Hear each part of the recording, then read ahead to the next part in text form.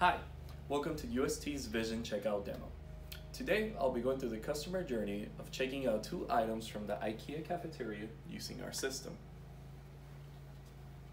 As you can see, here we have a Niagara water bottle along with the salmon fillet. The journey first begins by putting the items on the scale. From here, the system begins scanning. And as you can see, we have the salmon fillet and the Niagara water. From here, users have three options. They can either touch the screen, use voice commands, or even gesture. Let's begin with voice. Pay now. Now, we will demonstrate the gesture.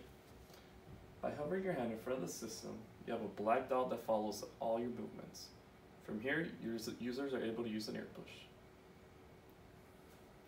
We have our card, tap to pay.